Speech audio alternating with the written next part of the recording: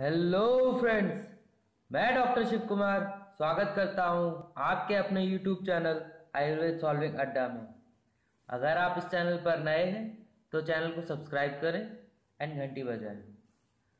आज का topic obstetrics means प्रसूति सब्जेक्ट से रिलेटेड है, जिसका नाम है मेडिकेशंस सेफ़ ड्यूरिंग प्रेगनेंसी ठीक है तो क्योंकि कई बार क्या हो जाता है कि जैसे ही आप किसी को मेडिसिन प्रिस्क्राइब करते हैं तो जैसे आपको पता चलता है वो प्रेग्नेंट है तो आप डर जाते हैं। क्यों? क्योंकि आपको बच्चे के बारे में सोचना होता है। तो उसमें कई बार हमें डर लगता है, हम, हमें पता ही नहीं होता उसमें क्या मेडिसिन थी। तो इसी पे आज थोड़ा सा बात करेंगे, ठीक है? मेडिकेशन सेफ़ इन प्रेगनेंसी तो आइए स्टार्ट करते हैं। तो सबसे पहले हमें ये पता होना चाहिए कि प्रेगनेंसी में जितनी कम मेडिसिन यूज़ की जा सके, उतनी कम मेडिसिन यूज़ करनी चाहिए। ठीक है? और फ़र्स्ट ट्राइमेस्टर में तो बिल्कुल भी ना ही करें तो बेटर है। ठीक है?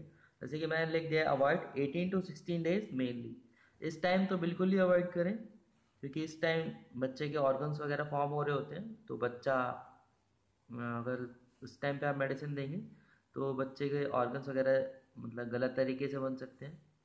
तो वो बच्चा सही नहीं पैदा होगा और उसको आगे दिक्कतें आएँगी। तो इसीलिए इस टाइम पे अवॉइड करें। तो आइए फिर स्टार्ट करते हैं। ये first of all G I T condition की गैस्ट्रोइंटेस्टाइनल ट्रैक की कंडीशन की। जैसे अगर नोजिया वॉमिटिंग हो रहा है तो आप इसमें पायरेडॉक्सिन दे सकते हैं विद और विदाउट मतलब ये खाली भी ये भी दे सकते हैं और इसके साथ में ये भी दे सकते हैं। डॉक्सिलामिन मैक्लिजिन और डाइफिनाइल हाइड्रामिन ठीक है, ये डॉक्सिल मैक्लिजिन एंटी हिस्टामिनिक ड्रग्स हैं। ठीक है पायरिडॉक्सिन क्या विटामिन बी सिक्स है मेन ठीक है? तो ये आपका थोड़ा सा कंट्रोल करेगा। और मेटाक्लोप्रामाइड जो भी आप इमरजेंसी में देखेंगे तो ये थर्ड ट्राइमेस्टर में ही सेफ़ है। तो ये तभी दें जब थर्ड ट्राइमेस्टर हो, उससे पहले ना दें। ठीक है? ये बहुत ज़्यादा यूज़ होती है वॉमिटिंग में सर ठीक है? तो अब कॉन्स्टिपेशन कॉन्स्टिपेशन में आप माइल्ड परगेटिव ही दें। ठीक है? जैसे कि लैग्जेटिव भी कहते हैं जिसे ठीक है? Avoid strong purgative strong purgative बिल्कुल भी ना दें, क्योंकि ये अबॉर्शन या प्रीमेच्योर लेबर कॉज कर सकता है। अब आता है हार्ट बर्न जैसे कहते हैं कि सीने में जलन हो रही है एसिडिटी की वजह से होता है।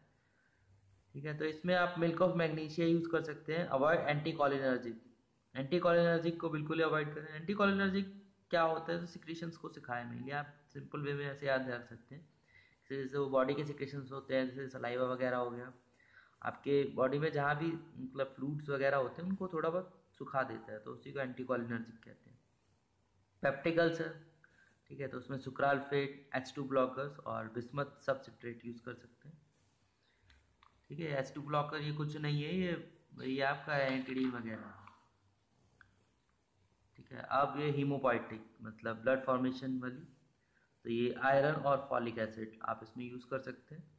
एनालजेसिक्स में एनालजेसिक्स अवॉइड ही करें बट आपको फिर भी अगर दर्द वगैरह होता है कहीं तो एसिटामिनोफ है जिससे आप पैरासीटामोल भी कहते हैं तीसरे हम शॉर्ट फॉर्म में कहते हैं, ये यूज़ कर सकते हैं सिर्फ़। इन्फेक्शन में इन्फेक्शन में हमारे पास चार ग्रुप हैं, ठीक है, और जिसमें से पेनिसिलिन ग्रुप है सेफेलोस्पोरिन ग्रुप है, इनमें से मोस्टली ड्रग्स यूज़ होती हैं, और मैक्रोलाइट्स में आप सिर्फ़ एजिथ्रोमाइसिन यूज़ कर सकते हैं अमीनोग्लाइकोसाइड्स में जेंटामाइसिन और टॉबरामाइसिन यूज़ कर सकते हैं ये लेकिन सीरियस कंडीशन में यूज़ करनी है इनके इंजेक्शन आते हैं और जैसे ब्रॉड स्पेक्ट्रम एंटीबायोटिक होती है। तो इसीलिए इसको तभी यूज़ करना जब सीरियस कंडीशन हो। हल्का फुल्का है तो आप पेनिसिलिन से काम कर, काम चला सकते हैं। ठीक है? अब जैसे मैंने इसको अलग और क्लासीफाई किया है। यूटीआई में जैसे यूनिट ट्रैक इन्फेक्शन हो गया तो उसमें एम्पिसिलिन अमोक्सिसिलिन यूज़ कर सकते हैं। और सिफेलैक्सिन सिफोड्रॉक्सिल और सेफुरॉक्सिन ये यूज़ कर सकते हैं। एम्पेसिलिन अमोक्सिलिन पेनिसिलिन ग्रुप की होगी और सिफेलोस्पोरिन ग्रुप की ये तीनों होगी ठीक है, अब नेक्स्ट पेज पे आते हैं। अदर्स कई लोगों को जैसे एंटीबायोटिक्स याद होती है, वो बीटा लैक्टैम्स एंटीबायोटिक करके याद होती है तो उसके हिसाब से ये कर दिया गया। बीटा लैक्टाम्स में आप ये ड्रग्स यूज़ कर सकते हैं penicillin G penicillin V ampicillin amoxicillin cloxacillin ठीक है, और सेफेलोस्पोरिन में आप सेफेलैक्सिम है सेफाड्रॉक्सिल सेफुरॉक्सिम और सेफ्ट्राक्सोन ये ड्रग्स यूज़ कर सकते हैं। और मैक्रोलाइट्स में बताया था, एजिथ्रोमाइसिन।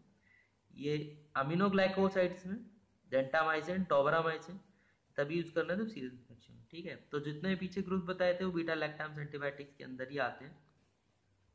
ठीक है? अब ये मलेरिया में। मलेरिया का अक्सर कन्फ्यूज़न रहता है, इसमें क्या दें? ज़्यादातर क्योंकि मतलब लोगों को डाउट रहता है कि ये क्या करेगी। ठीक है? तो मलेरिया में तो क्लोरोक्विन दे सकते हैं प्रोगोनिल दे सकते हैं पायरीमिथामिन फॉलिक एसिड के साथ दे सकते हैं। अमीबियासिस में सिर्फ़ मेट्रोनिडाजिल जोल यूज़ करें, ठीक है? फंगल इन्फेक्शन में मिकोनाजोल क्लोट्रीमाजोल और निस्टैटिन तीनों में से यूज़ कर सकते हैं। वॉम इन्फेस्टेशन पेट में कीड़े वगैरह हो गए हैं तो आप piperazine citrate pyrantel pamoate bephenium hydroxynaphthoate पायराजी quintal. Worm infestation आप सोच रहे होंगे, यार, इस टाइम पे वॉम इन्फेस्टेशन क्यों होगा? क्योंकि इस टाइम पे प्रेगनेंसी होती है तो लेडीज़ में ऐसा देखा जाता है कि उनको अजीब अजीब सी चीज़ें खाने का मन करता है तो कई चौक वगैरह खाते हैं तो उससे पेट में कीड़े हो सकते हो तो इसका आपको ध्यान रखना पड़ेगा। आप इसको, आपको इसको ध्यान में रखना ही पड़ेगा, क्योंकि ये चीज़ें हो जाती हैं। H I V infections H I V infections में नन आर सेफ़ ठीक है, कोई भी ड्रग उसमें सेफ़ नहीं है। एच आई वी वाली, लेकिन फिर भी हम इसमें जिडोगुडिन और नेविरापिन ये देते हैं। ये इसलिए देते हैं ताकि वर्टिकल ट्रांसमिशन ना हो। वर्टिकल ट्रांसमिशन क्या होता है? मदर टू फीटस में जो चीज़ जाती है, जो भी अगर इन्फेक्शन जाता है, उससे वर्टिकल ट्रांसमिशन कहते हैं।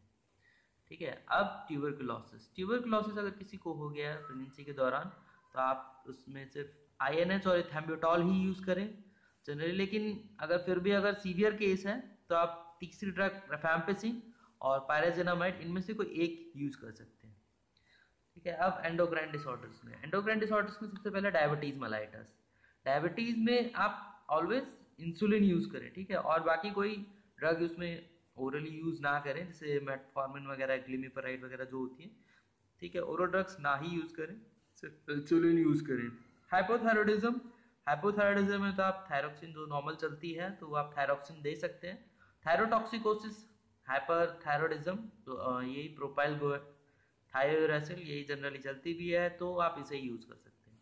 कॉर्टिकोस्टेरॉइड्स हाईली टेराटोजेनिक है, इसको मस्टली अवॉइड करें, ठीक है?